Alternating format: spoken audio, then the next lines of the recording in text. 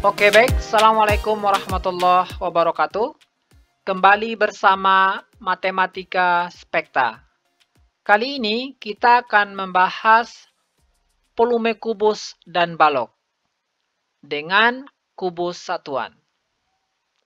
Pertama, kita harus tahu apa itu volume. Secara umum, volume adalah isi dari bangun ruang Kata kuncinya isi.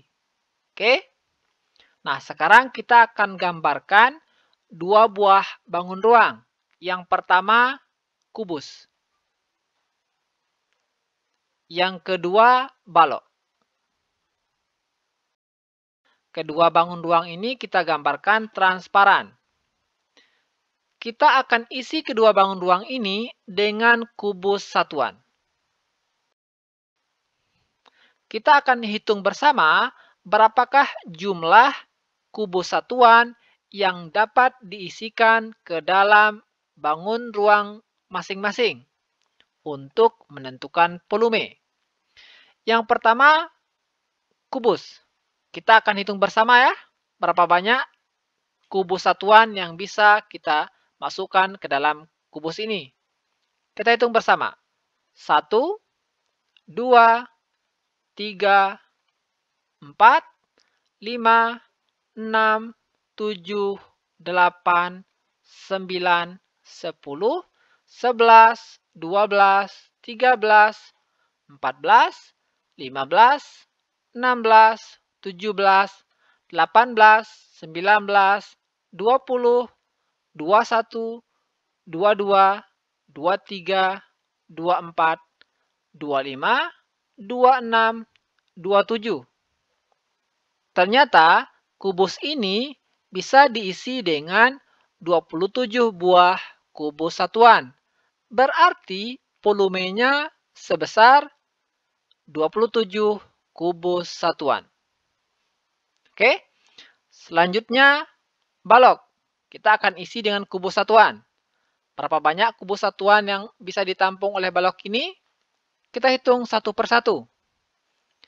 Satu, dua, tiga, empat, lima, enam, tujuh, delapan, sembilan, sepuluh, sebelas, dua belas, tiga belas, empat belas, lima belas, enam belas, tujuh belas, delapan belas, sembilan belas, dua puluh, dua satu, 22, 23, 24. Ternyata balok ini bisa diisi dengan 24 kubus satuan. Itu berarti volume balok ini adalah 24 kubus satuan. Cara seperti ini hanya efektif untuk ukuran kubus atau balok yang kecil. Kalau ukuran kubus dan baloknya besar, maka kita akan membutuhkan waktu yang lebih lama untuk menentukan volumenya. Untuk itu, ada baiknya kita gunakan rumus untuk menentukan volumenya. Bagaimana caranya? Ikuti langkah berikut ini. Ini adalah kubus dan balok yang sudah kita tentukan volumenya tadi. Sekarang, kita akan tentukan volumenya dengan menggunakan rumus. Pertama, kita akan menentukan volume kubus terlebih dahulu. Rumus untuk menentukan volume kubus yaitu rusuk kali rusuk kali rusuk.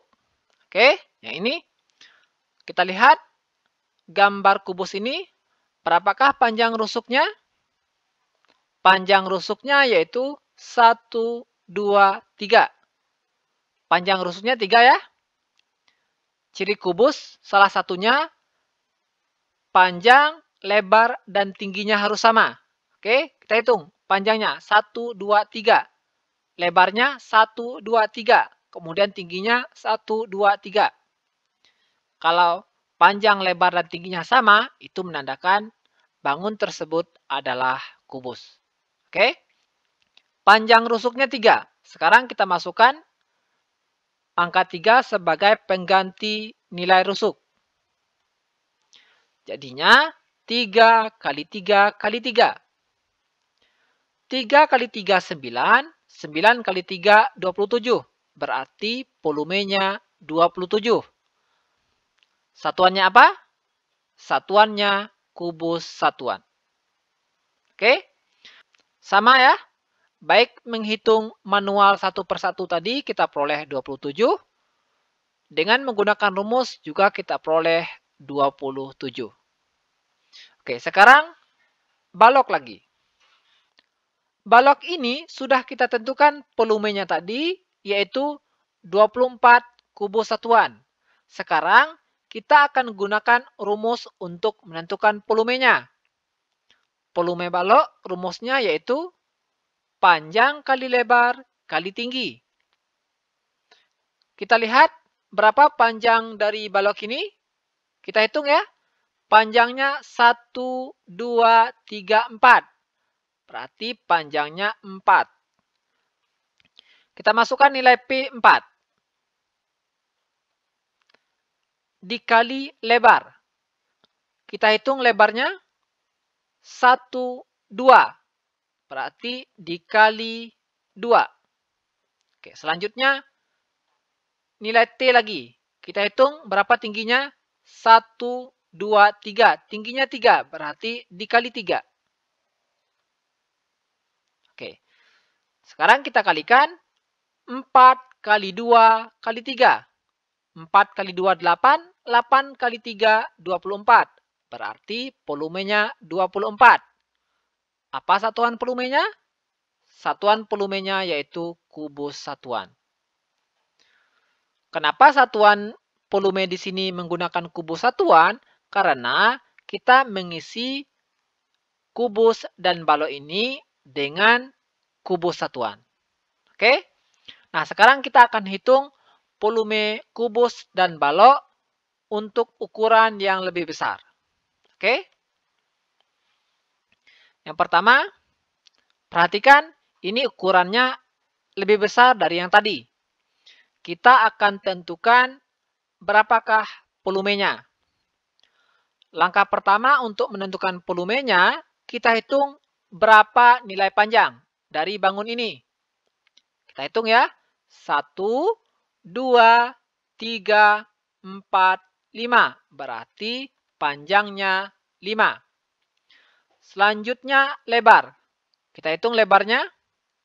1, 2, 3, 4, 5. Berarti lebarnya 5. Selanjutnya tinggi. Kita hitung berapa tingginya?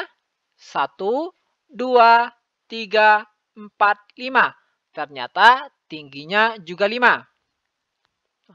Kalau ukuran panjang, lebar, dan tingginya sama, itu menandakan bangun tersebut adalah kubus.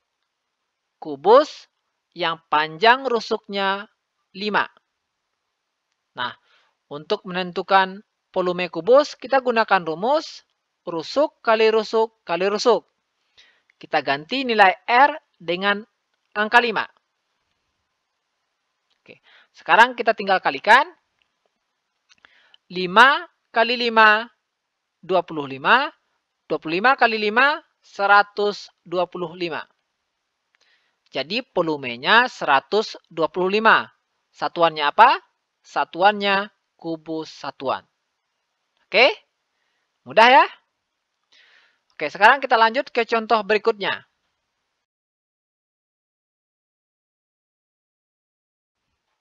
Oke, ini contoh berikutnya. Kita akan tentukan berapakah nilai volumenya. Seperti tadi, langkah pertama tentukan panjang dari bangun ini. Kita hitung. 1, 2, 3, 4, 5, 6. Berarti panjangnya 6. Selanjutnya, kita hitung berapa lebarnya. Lebarnya 1, 2, 3, 4. Lebarnya 4. Selanjutnya tinggi. Kita hitung tingginya. 1, 2, 3. Tingginya 3. Kalau panjang, lebar, dan tinggi bangunnya berbeda, ini menandakan bangun ini adalah balok. Rumus untuk menentukan volume balok? Panjang kali lebar kali tinggi. Kita tinggal masukkan nilai panjang, lebar, dan tinggi ke sini. Oke. Jadinya panjangnya 6, lebarnya 4, tingginya 3. Kita kalikan. 6 kali 4, 24. 24 kita kalikan dengan 3. Kita peroleh 72. Satuannya kubus satuan. Mudah bukan? Ini sangat mudah.